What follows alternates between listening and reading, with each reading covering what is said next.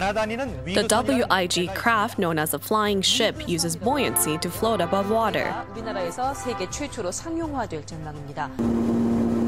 With the Korean WIG craft recently being exported to the United States, the technology involved is recognized as the very best in the world. Soon, the craft will become the first of its kind to be commercialized in Korea, no less. Let's take a look at the technology that buoy the craft to new heights.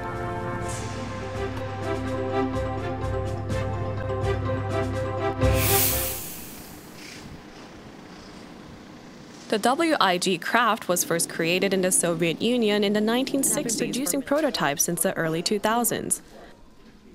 One of the reasons for Korea moving ahead of the pack in the development of the WIG craft has to do with the country's sheer excellence in the shipmaking sector. 앞에는 다 맥혔어. 없어? 네. According to the International Maritime Organization and the International Civil Aviation Organization, WIG crafts are currently classified as a vessel and in three types A, B, and C, with each one distinctive from another. Here they have completed the construction of three five seater WIG crafts with a total of 124,000 kilometers of testing mileage spanning 12,000 hours.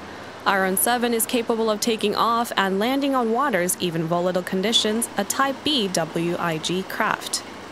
어, 이때까지 기존 국가들에서 만들어 왔던 위거선의 한계, 수면 효과에서만 나, 날아다니는 그 위거선의 한계를 벗어나서 수면 효과 범위에서 기본적으로 운항하고 고도를 150m까지 올릴 수 있는 B 타입 위거선으로 개발이 되었습니다.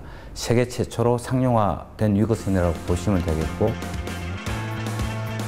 In comparing the WIG craft and the seaplane, WIG craft flies ahead using half the fuel and emitting less CO2, using about one third of the energy vessel's use.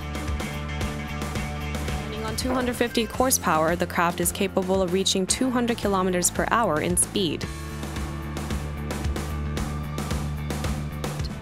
The craft can produce upwards of 200 kilometers per hour, but with the effect it uses much less fuel than regular aircrafts. Coupled with the fact that it's much faster in speed than vessels and devoid of turbulence that causes seasickness, it is regarded as a transportation device of the future, a future the scientists envisioned when developing the craft. Nowadays, a new standard for WIG craft pilots is being drafted, one that requires a pilot license as well as a master's license on the water. The main advantage of WIG crafts is that the pilot can quickly adjust to physical obstacles. Also, landing on the water with high waves akin to planes landing on the wavy strip featuring 2 meter crests.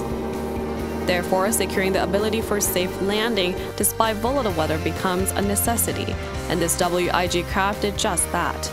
Its excellent ability to safely land on water is something that only Korea can claim ownership to. The Ministry of Land, Transport, and Maritime Affairs is currently drafting policies, laws, and standards required for the commercialization of the WIG crafts, including safety standards, the pilot license, and etc. Once these measures are taken, Korea will set the global standards and regulations for WIG crafts.